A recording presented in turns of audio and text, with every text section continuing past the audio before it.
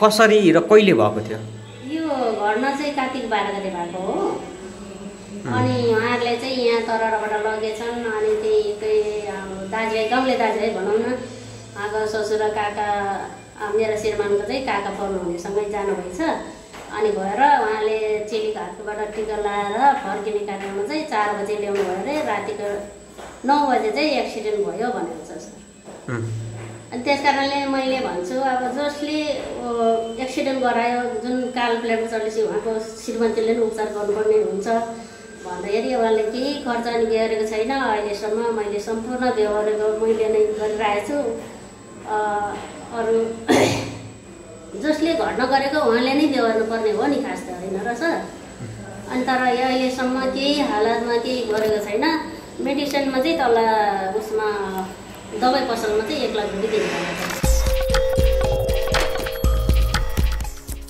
सुनसरी जिल्लाको तरहराका बयालिस वर्षीय गणेश कुमार राई यति बेला विराटनगरको गोल्डेन अस्पतालको सयमा छन्। विगत आठ महिनादेखि अस्पतालमा हुने उपचारार्थ छन्। उनको एक चरणको उपचार सकिएको छ। अस्पतालले उनलाई फिजियोथेरापी अस्पतालमा लैजान आग्रह गरे तापनि अस्पतालमा उपचार गरेको पैसा तिर्न नसक्दा अस्पतालमा नै बस्न बाध्य छन्। गत कार्तिक बाह्र गते भाइटिकाको दिन राई दुर्घटनामा परे।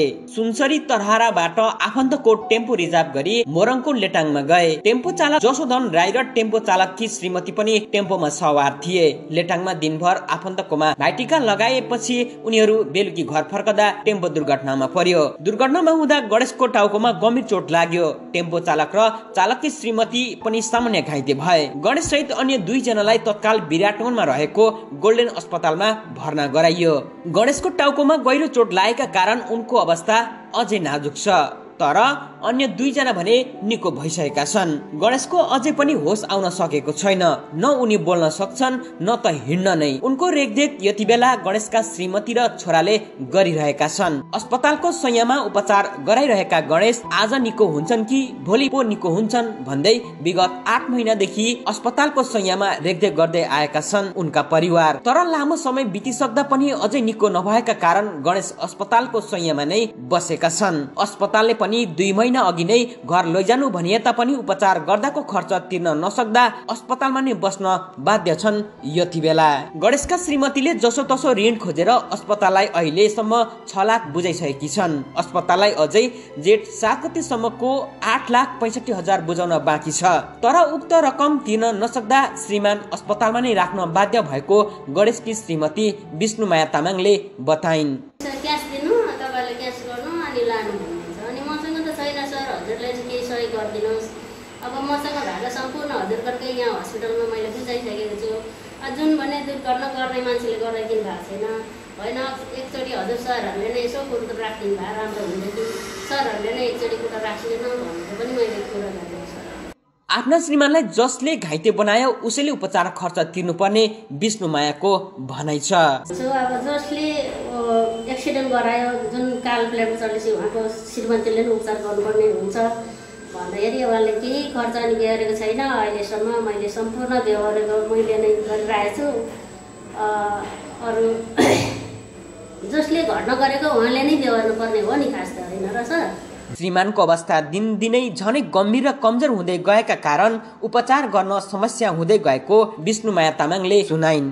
आफूसँग भएको अलिअलि पैसा तिरेर बाँकी रकम जमानी बसेर श्रीमानलाई घर लैजान्छु भन्दा पनि अस्पतालले नदिएको विष्णुमायाले दुखेसो पोखिन्। अस्पतालले बाँकी रहेको रकम तिर्नु अनि लानु भन्दै दबाब समेत आएको राईले यसरी सुनाइन्।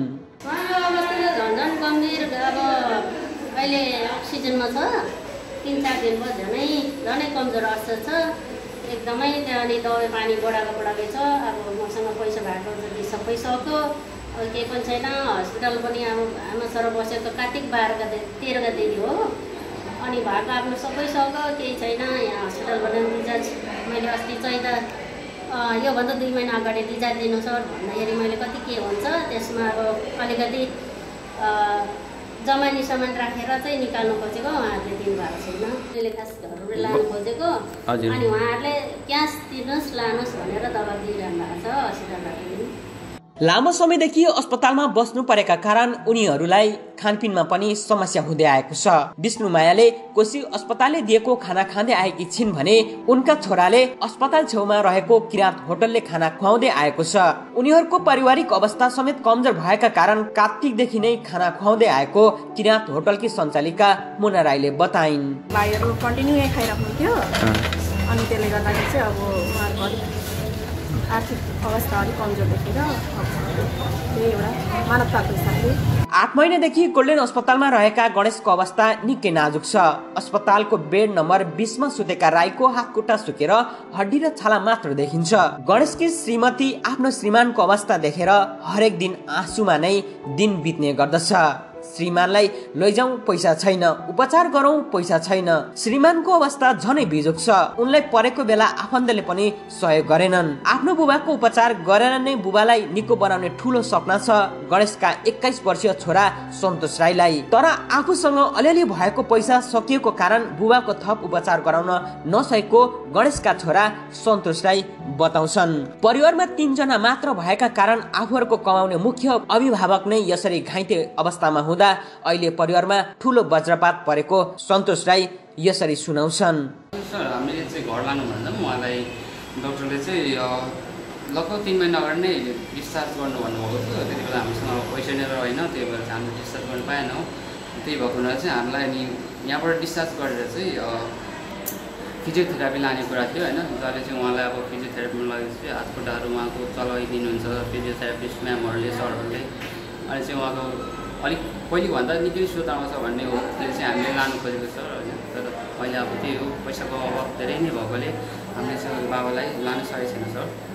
बुबाको उपचार गराउन नसकेका कारण बुबाको थप उपचार गराउन र डिस्चार्ज गर्ने पैसा नभएका कारण उपचारमा सहयोग गर्न समेत गणेशका छोरा सन्तोषले सहयोगी दाताहरूलाई आग्रह गरे। सहयोगको लागि त म हजुरहरू जसले पनि यो कार्यक्रम हेरिराख्नु भएको छ होइन? उहाँहरूलाई मेरो सन्तुष्ट गरिदिनु होला भन्न चाहन्छु किनभने हाम्रो अहिले अब हामी परिवारमा तिनजना मात्रै छौँ बाबा म मेरो म छोरा भइहालेँ होइन। हाम्रो एकदम अवस्था नै छैन अहिले हामी खाना पनि लगाउन पनि सकेका छैनौँ। सबै खानेकुराहरू पनि राहतबाट खाइरहेछौँ यस्तो अवस्था भइसकेको छ हजुरहरूले होइन। हजुरहरूले म चाहिँ एकदम मेरो लागि मेरो बाबालाई होइन उपचारको लागि बाबाको पहिलेको अवस्थामा आइदिनुको लागि चाहिँ हजुरले एकदमै सहयोग गरिदिनुहोस् भन्ने चाहन्छु होइन। त्यही सर। यता गोल्डेन अस्पतालका प्रबन्धक मोहम्मद ज्याउल हकका अनुसार अस्पताललाई जेठ सात गतेसम्मको उपचार खर्च आठ लाख पैँसठी हजार तिर्नुपर्नेछ। उहाँ चाहिँ हाम्रो हस्पिटलमा सात महिना बाह्र गते अब एक्सिडेन्ट परेर आउनुभयो त्यसपछि हामीले उहाँको विभिन्न सर्जरीहरू गरेर उहाँको ज्यान उहाँको जुन जोखिम थियो उहाँलाई बचाएर अहिले पनि हाम्रो उहाँ अस्पतालमै हुनुहुन्छ। हो हाम्रो चाहिँ उहाँले अहिलेसम्म तिर्नुपर्ने रकमहरूमा उहाँलाई चाहिँ हाम्रो सात महिना दुई महिना सात गतेसम्म चाहिँ आठ लाख पैँसठी हजार देखिन्छ। अब हामीले पनि गर्न सक्ने भनेको जति हामीले उहाँलाई पनि पहिलेदेखि नै भन्दै आएको छौँ। तपाईँको बिरामीलाई अहिलेको अवस्थामा अब फिजियोथेरापी र रिहेबिलिटेसन भन्छ त्यो चाहिएको छ। थप उपचारको लागि फिजियोथेरापी लैजानु पर्ने भएकाले पैसा अभावका कारण अहिले जान नसकेको ज्याउल हकले बताए। दुर्घटना हुँदा तेस्रो पक्षले तिर्नुपर्ने रकम नदिएका कारण उनीहरू अहिले समस्यामा परेको बताए। उहाँहरूको आर्थिक अवस्था पनि कमजोर भएका कारण अस्पतालको तर्फबाट पनि केही सकेको रकम छुट गर्ने समेत ज्याउल हकले बताए। तर ज्याउल हक भन्छन् गणेशको पारिवारिक अवस्था अत्यन्तै कमजोर भएका कारण सबैले मिलेर सहयोग गर्नुपर्नेछ। त्यसमा चाहिँ उहाँहरूले के भन्नुहुन्छ सर अहिलेसम्म चाहिँ हामीहरू उहाँको जुन फँसेको पैसा छ तेस्रो पक्षले दिनुपर्ने त्यो पैसा चाहिँ हाम्रो निस्किन पाएको छैन। उहाँले बेला बेलामा पनि हामीहरूलाई चाहिँ अब धेरै भनौँ न समाजसेवीहरू पनि आउनुभयो को को को सहयोग गर्ने हिसाबले त आउनुभयो तर अब अब एक दिन भेट भयो त्यसपछि चाहिँ कहिले पनि उहाँहरू चाहिँ फेरि पछि चाहिँ देखिनु भएन। मेरो रिक्वेस्ट के छ भने हामी सबैले मिलेर यो बिरामीलाई अब भने नि हामीले अस्पतालले तर्फबाट सकि नै हामीले पनि गरिहाल्छौँ। जुन बिचरा उहाँको जुन पैसा जुन तेस्रो पक्षको पैसा जुन उहाँले भन्नुभएको छ अदालतमा मेरो पैसा फँसिरहेछ सर त्यो पनि आउनु पायो भने झन् अझै उहाँलाई पनि त्यो फिजियोथेरापी र रिहेबिलिटेसनमा जान पनि सजिलो। गणेशका परिवारले जीवनमा कहिल्यै पनि यस्तो दिन आइपर्ला भनेर कल्पना समेत गर्न सकेका थिएनन्। तर आज आफ्नो अभिभावकको ज्यान जोगाइदिनु पर्यो भन्दै सहयोगको अपिल गर्न बाध्य छन्। हो परेको बेला तपाईँ हाम्रो सानो सहयोगबाट आठ महिनादेखि अस्पतालको सयमा जीवन मरणको अवस्थामा रहेका परिवारलाई एउटा सानो सहयोग पो गर्ने हो कि? आवर विराटनगर डट नेटका लागि प्रेम देवान विराटनगर